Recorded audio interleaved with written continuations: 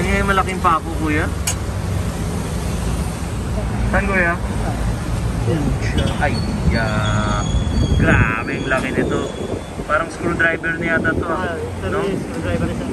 Ah, ganyan siguro kalaki sir. Sige, sige. Magaling Okay. tayo takip sir? Swap, swap. Ha? Lahat tanggalin natin takip. Pwede. Ako mawala.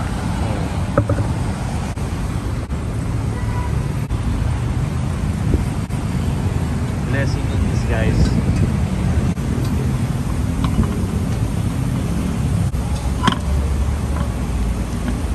Ano yung record mo kuya sa pagpalit ng gulong? Ilang minuto?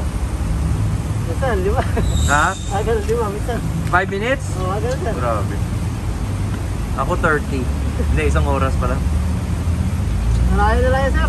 Ha? Sanayan niya lang po. Kasanayan, oo. Siyempre, pag araw-araw mo ginagawa, di ba? Like sa amin, siguro, once a year, one, twice a year namin ginagawa. Kaya matagal. Hindi naman po. Linggo-linggo. Ganun sir. Oo. Pero, at least, may tumulong. Hindi ka siya dumastress. At puti, may spare tire. Kaya importante na tayo eh. Kaya talaga may reserva. Oo, hindi pwede wala eh. Hindi pwede wala talaga. Hindi pa kasi bisa wala sir. Ginagawa namin, pinapaano na namin, pinapabulkanis namin.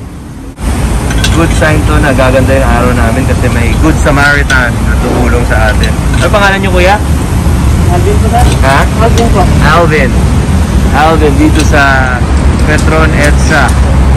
Yung Petron dito sa EDSA going north. Yan.